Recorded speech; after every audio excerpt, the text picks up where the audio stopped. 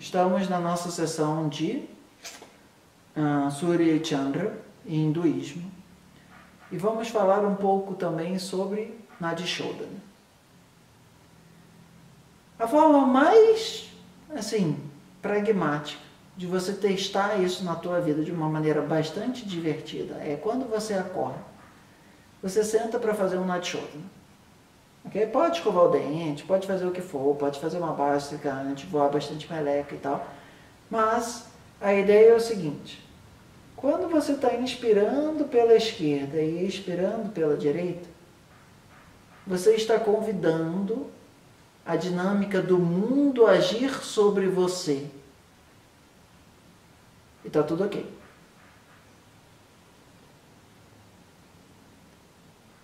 Quando você está inspirando pela direita e expirando pela esquerda, você está convidando a dinâmica do mundo de você agir sobre o mundo e está tudo bem. Então, nesse sentido lunar e solar, expressa essa característica fundamental de que às vezes o mundo vai estar tá agindo sobre você como eu estava comentando dessa última viagem que a gente foi lá e o restaurante estava fechado e etc. E por mais que você tivesse de alguma maneira agindo sobre o mundo, no caso eu, o mundo estava agindo muito mais sobre mim e estava, digamos assim, difícil agir e a ação acontecer da forma como esperado. Okay? Então a narina, o Chandra Beda, que é inspira esquerda expira direita, ajuda a gente a cultivar um prisma mental, uma perspectiva de que às vezes é necessário aprender a estar ok com o fato do mundo ser maior do que você. Dele, digamos assim, você pode fazer o esforço que for que ele te arrasta. E você aprender a se, se jogar na correnteza e estar tá com fé no propósito. Da mesma forma. Quando você está fazendo o Surya Bheda, que é inspirando pela direita e expirando pela esquerda, ali é o botão, a chave de você agir sobre o mundo e falar, peraí, isso daí não vai acontecer dessa forma, não. Vamos mudar a trajetória, vamos remar e vamos chegar para o outro lado do rio, aonde o, a, a proximidade da sua ação e do resultado tendem a ser, digamos, eu conseguir fazer isso. Vocês vão ver que, no geral, vai ter uma narina causando. Se você tiver com dificuldade de inspirar pela esquerda e expirar pela direita, observa se na tua vida você está sendo receptivo a ideia de que o mundo é mais forte do que você. No sentido de você pode remar o que for, aquela avalanche vai te levar. Você vai ter que aprender a chacoalhar na avalanche. Se a narina direita estiver ativa e desculpa, obstruída, e você não conseguir inspirar satisfatoriamente pela direita, isso vai significar que você está naquele instante com uma grande dificuldade de manter um aparato mental do tipo: eu preciso ser o agente do processo aqui. Sabe quando o sol vem e ele fala: agora é dia. Ok? A lua, ela sempre vai ter uma relação com o sol, mas o sol sempre vai ter uma relação, digamos, autoritativa, em um certo grau independente, em um certo grau autônoma, em um certo grau mais ah, transformadora e menos receptiva. Ok até aqui? Então, é sempre válido, é sempre uma boa diversão você observar ao nascer do dia o como que a tua mente está capaz de atuar nas duas, nos dois lados da moeda.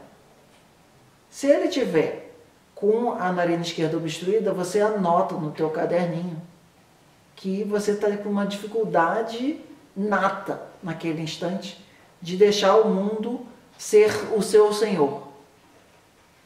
E se você está numa situação onde o mundo está sendo o seu senhor e você está sofrendo com isso, o que, que você precisa fazer? Só ficar fazendo o Chandra Veda.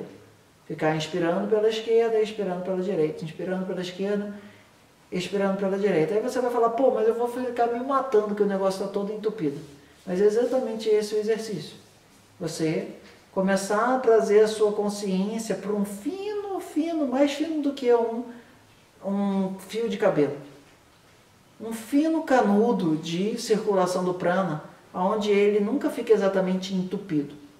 Você leva a consciência para esse microfio, para esse nadi, e inspira através dali, expira através da direita. Levar o tempo que for. Você pode, tipo, levar 50 para inspirar e 2 para expirar, não importa. Mas fazer esse exercício de ir desentupindo a narina a partir do nadi. E a mesma coisa da direita para a esquerda. Se você observa que você está com uma dificuldade de ser o senhor do mundo, naquele instante, em vez do mundo ser o seu senhor, você vai ter que buscar na tua narina direita. E, gente, não adianta você ligar o microscópio, ele não vai aparecer. Ok? Você tem que deixar a tua mente focada num microponto, aonde você tem a sensação de, por mais... Ah, atenção que essa frase é meio metafísica. Por mais que o ar não esteja entrando, o prana está. Essa frase é uma frase louca, vamos repetir. Por mais que o ar não esteja entrando, entre parênteses, satisfatoriamente, existe uma sensação de que se você ficar com a tua mente só naquele micro qualquer coisa de nanotelésimo de buraquinho, ali é possível entrar em contato com aquele nada, e seja o idade um lado, pinga lá do outro. Ponto. Esse treco é chamado de Swara Yoga.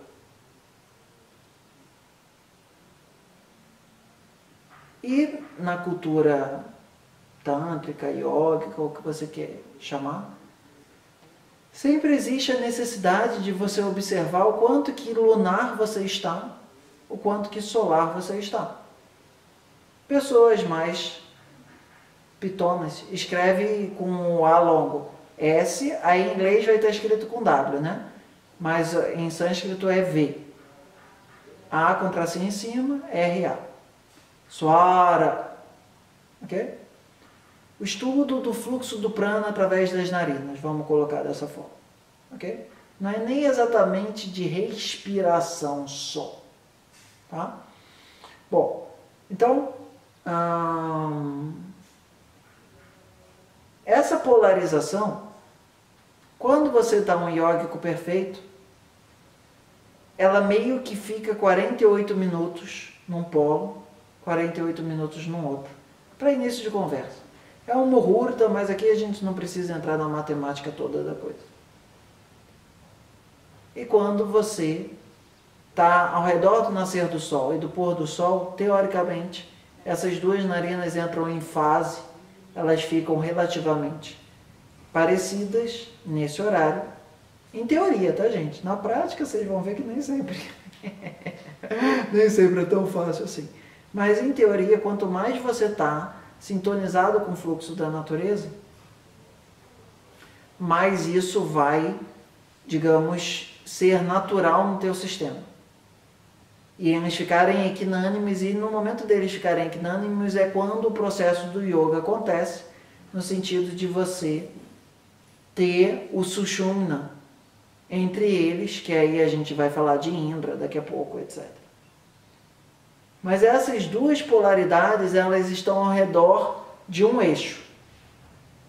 De um eixo de paz, de um eixo de tranquilidade. E o objetivo desse yoga mais shivaísta, tântrico, dependendo como você for chamar, é principalmente fazer com que haja atenção, pulso da narina esquerda para a narina direita, da narina direita para a narina esquerda. Isso modernamente a gente chamaria de uma hora o teu cérebro do hemisfério esquerdo está mais ativo, outra hora do cérebro no hemisfério direito está mais ativo. Em algum determinado momento, eles entrarem em sintonias. A gente acha que o cérebro é uma coisa só, mas na prática eles são duas coisas bem, digamos assim, praticamente no dia a dia normal da coisa, separados. O objetivo do yoga, a gente poderia dizer contemporaneamente, é juntar o cérebro de novo. De tão esquizofrênico que ele fica lá dentro, tá? Então, se você percebe e você fica lá, põe o dedinho assim para observar, faz um pouco de Nadshodana para observar. Se você percebe que a tua narina direita fica dominante ou esquerda durante muito tempo, existe uma tática para você ajudar o teu sistema a voltar para o trilho. Sabe aqueles negócios de trilho de trem que tipo um cara puxa uma alavanca e aí o trilho muda um pouco para um lado e aquele trem que estava indo reto vai um pouco para a direita ou para a esquerda, ou qualquer coisa que seja. Então essa alavanca no yoga é o Yoga Danda. Eu não sei se vocês já viram lá naqueles uh, mantras de segunda-feira, terça-feira que a gente faz 5 da manhã. Aparece quando eu estou segurando lá para fazer o negócio com a japa e tal. Depois eu descanso um precocinho que é um Yoga Danda, que é um bastão de yogi. Servia para dar um esteco em cabeça de macaco de vez em quando também, mas ele era principalmente para o yogi ficar cantando mantra e o yogi ficar botando aquilo debaixo da sua axila. Atenção que essa informação é invertida. Quando você comprime a sua axila direita, imediatamente a sua narina esquerda entra em maior ativamento. Ativação, desculpa. Quando você. Por isso que Vishnu e quem quiser, Buda, etc., sempre vai aparecer deitado sobre o lado direito. Porque é um lado mais receptivo, é um lado mais capaz de ficar escutando, contemplando, um estado mais meditativo, mais lunar, diante do que a gente está conversando. Quando você comprime a sua axila esquerda, a sua narina direita, solar, pingalá, ela se torna mais proeminente e é por isso que depois de você comer, do ponto de vista yógico, não do ponto de vista fisiológico, você deita sobre o seu lado esquerdo quando você está de barriga cheia para tirar sua neca de 15 minutos, deitado sobre o seu lado esquerdo para a sua narina direita ficar mais ativa. Aí, ayurvedicamente, você ainda encosta num sofá e fica assim de ladinho. E você pode botar o, a mãozinha aqui de asa de galinha aqui e ficar assim apoiado, porque isso ajuda você a ficar com o teu sangue no teu sistema digestivo sem que o teu corpo abaixe o metabolismo. Isso é só para vocês terem uma ideia minimamente prática do como essa conversa que a gente de alguma forma vai entrar de Indra, Surya, Chandra, Agni, Soma, e, e assim vai.